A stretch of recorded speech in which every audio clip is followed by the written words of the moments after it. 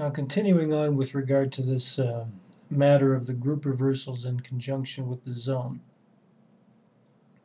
As we just mentioned, the zone that you're creating, let's say it's an 1100 tick bar zone, that 1100 tick bar, when you plot it, when you plot the zone on an 1100 tick bar, let's show you what I mean. Now it appears on the screen this way. 1100 tick bar, here's your zone, here's your lower zone. Okay? In order for this to pull a trade, the close of, or pardon me, the low of the bar, low of the bar must be below the zone. Okay? The low of the bar has to be below the zone. But now when you are looking at a group reversal, okay, if we were to use this as the group reversal, okay, the low of this bar has to be below the zone at the time the reversal occurs. All right? So if the low of, if, the zone is at 10,080, 50, once again, if it's at 10,080, uh, 10, 50, the low of this bar is at 10,080, 50. It's not below. All right. The close of the bar, in fact, is at 1080, 75. So if I misstated that in the last video, I correct myself. The low of the bar, the low of the bar has to be below the zone at the time the group reversal takes place. All right, so I think I misstated that in the last in the last video. And the point of the matter is, though, that since our group reversals are not going to take place at the low itself, you could run into some complications using a standard group reversal approach and the zones. There, there will be instances where that'll work fine. But if you're real close, pardon me, real close to the zone, you're going to have a problem. So what can you do to offset that? As we indicated here, one way to do that is simply to not use the group reversal. This is not using group reversals, just using standard MACD. Good old MACD. You are using the premium. That's good. Okay. Now, there is one other thing that you could do. Now, let me bring back the zone. You can tweak the zone itself. If you've noticed that you know, you're getting fairly close to these zones, notice what you can do.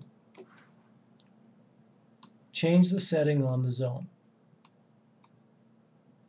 Instead of using a 2% band, use something less. Now watch the difference here. If I set that to 1.5, see where the zone moves? The zone squeezes. Now it's a lot easier for me to be in the zone by tweaking where the zone actually is. 1.8 widens it out a little bit more, but easier to be in the zone. So you you may have to may have to adjust this based on what you see occurring. You may see a need to adjust the zone. Then the group reversal is more likely to be caught within the zone. Let's use, show you an example of this. Now trust me when I say that right here there was a beautiful group reversal. There was a beautiful group reversal. I'll show it to you in a minute. But we didn't get a trade. Number one, we were not below the zone. So supposing we had adjusted this, I'm going to make a big adjustment, take it down to 1.5. Now we're in the zone. Okay, clearly in the zone there. Probably would have caught it. And here's the reversal. I'll show it to you on the small screen here. See that reversal? Beautiful.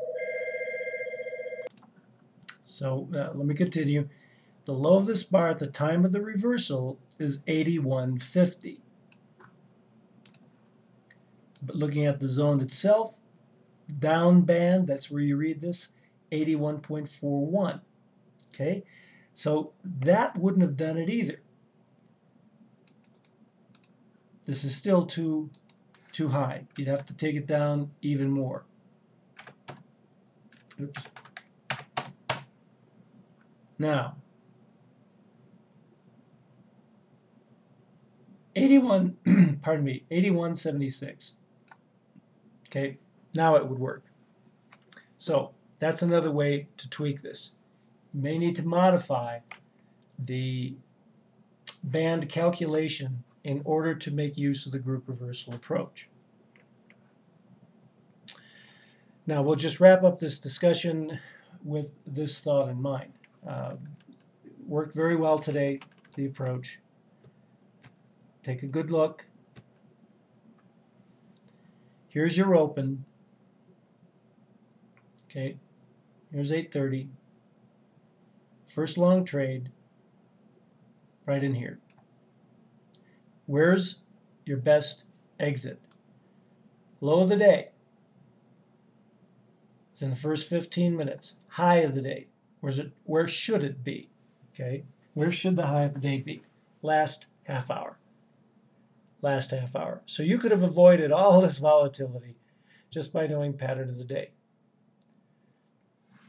And if you need a refresher on how to figure out what the bias was today, please give us a call, email us. It's very easy to know what the bias was. The bias had a very strong probable long trade today. So, that having been said, our next uh, set of videos will deal a little bit more on the subject of stochastics, but I think you've got a good feel now for for trading with the zones on a live basis. We've talked about uh, where to put the zones. All right, let's go back there. Just quick review. Here's our zone chart. We started off with a 500. That was based upon the overnight market, and that was looking pretty good. But as you got into the day, you could see that as the market continued to move down, as it continued to move up, all right, periodically you would have been getting trades that were premature. So that's going to tell you, all right, we need to make some adjustment to the band. So our decision was to look at 1100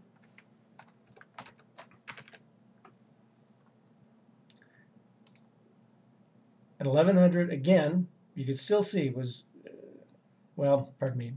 Let's go back and reset this because this was set to 2. All right, there we go. So originally, as this was set, this looked better. It looked better.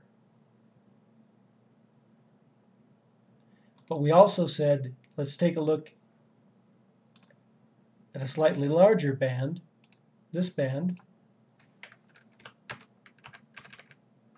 and that looked even better still. Nice long, short, long, short. And here is where we would get into some trouble because it didn't come all the way down to the band. But a multiple band approach, dual band in this case, uh, could work well, did work well, and we just need to tweak either the band itself or not use group reversals. And you've seen how we can do that with the uh, strategy. So that in conjunction with the overall pattern of the day, winning combination, and you saw it. Very nice equity curve with the uh, dual band approach. And even if you stuck with the 500 band all through the day with no profit target,